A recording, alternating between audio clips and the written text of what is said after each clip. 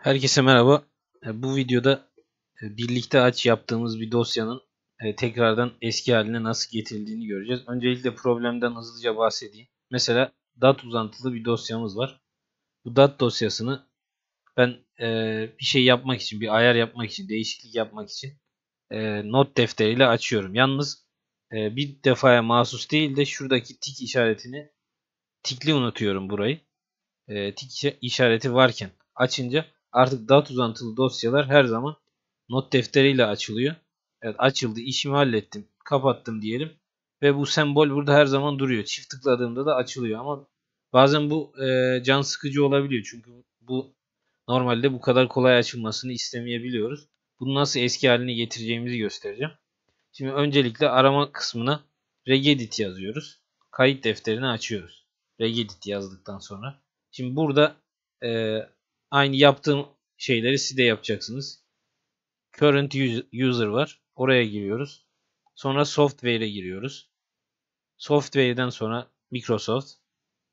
Sonra Windows. Aşağıya iniyorum. Windows'u seçiyorum. Yanındaki küçük üçgene basıyorum. Şey oka basıyorum. Current version var. Buraya girdim. Ondan sonra Explorer. Bu görüntüleme kısmı Explorer olduğu için oraya giriyoruz. Burada da File Extensions var. E, dosya uzantıları demek. Şimdi geldim dosya uzantılarına. E, dat benim dosya uzantım dat olduğu için ben dat'ı buluyorum. Ve dat'ı burada komple siliyorum.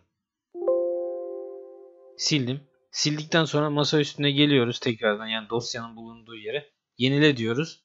Sonrasında da görev yöneticisini açıyoruz.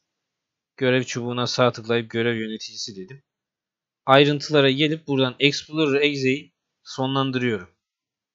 Görevi sonlandırdım. Bakın bilgisayar siyah ekran düştü. Sonra dosya yeni görevi çalıştır deyip Explorer.exe yazacağım. Explorer ben daha önce yazdığım için çıktı.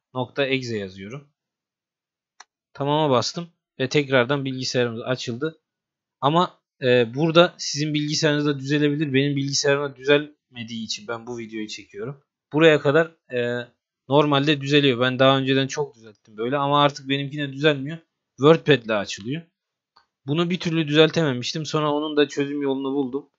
Ee, başka bir uygulamayla açıp e, sonradan o uygulamayı sileceğiz ama uygulama tabii ki e, doğru bir yerde olmaması lazım. O yüzden herkesin bilgisayarında bulunabilecek olan e, Microsoft Edge tarayıcısı var. Şöyle o da yerel diskçeye giriyorum. Program dosyaları x86. Microsoft'a giriyorum. Oradan Edge'e giriyorum. Application. Buradan MS Edge kopyaladım bunu. E, sağ tıkla kopyala dedim. Geldim masa üstüne yapıştırıyorum. Şimdi bu benim e, geçici bir uygulamam. Şimdi ben bu dosyaya geliyorum. Birlikte aç diyorum. Şu tiki tekrardan koyuyoruz öncelikle. Sonra diğer uygulamalara girip buradan bu kişisel bilgisayarda başka bir uygulama arayına tıklıyorum. Masa üstüne geliyorum ve masa üstüne koyduğum için bunu ms edge'ye tıklıyorum. Aç dedikten sonra bakın açılmadı hata verdi. Dosyanın simgesi değişti. Ee, zaten açılmamasını istiyoruz biz. Şimdi ben burayı siliyorum tekrardan. Sildikten sonra yine değişmedi. Yenile diyorum.